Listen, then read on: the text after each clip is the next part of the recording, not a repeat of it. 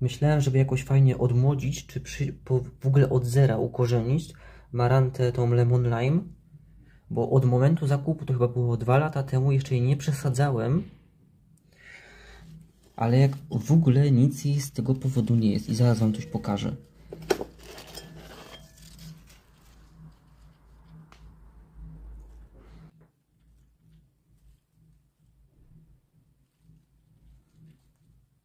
Dawno nie zaglądałem jej w korzenie.